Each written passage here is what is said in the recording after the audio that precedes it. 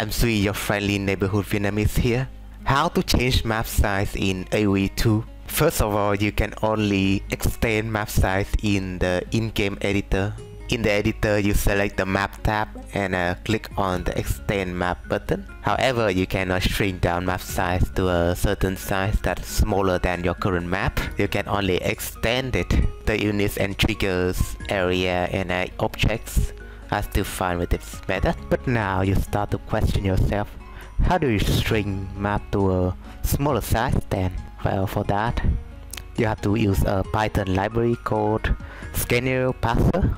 If you are new to the tool, I have already made a video to guide you through the installation process of the tool. So you need to watch that before doing this trick. And for those who already installed the parser tool, you can copy my example in the description below. I leave a link to it. So basically what this script do is first you need to specify the file name you gonna work with first. Either you put the file on the example folder itself or change the path to your scenario folder. This is mine but you need to change it into yours. And so just write the scenario name and uh, it will fetch the scenario data once it is fetched it's gonna show your old map size and you can either extend it or shrink it to your desired map size you cannot go below 16 uh, map size because uh, it will tend to bug a lot when you try to test your map. So in this case we want to shrink our map size to uh, for example 50 and we need to choose a direction to shrink it.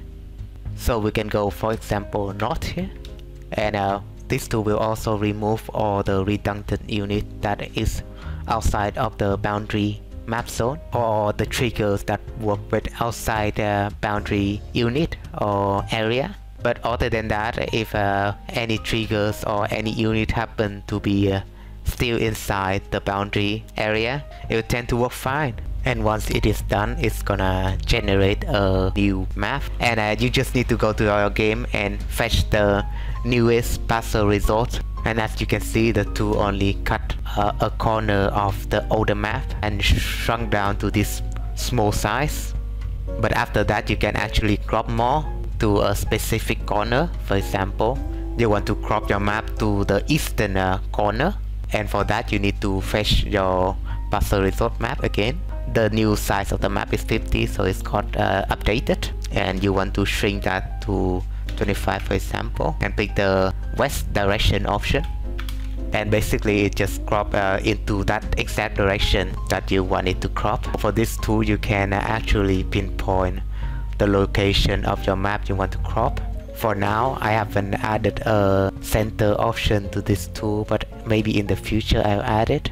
After cropping all the existing uh, triggers on the old map will still be retained but uh, it, there will be a lot of red if uh, your triggers work with out of bound zone or area or if with unit that was out of bound. And yeah that is all there is to it. Basically it only has option for you to crop a specific uh, direction but if you get creative you can uh, actually pinpoint any location in your map to be cropped it has been Duy and I have provided you with a, another useful Scenario Parser tool. This has been the video, I hope you enjoy and stay tuned for the next one.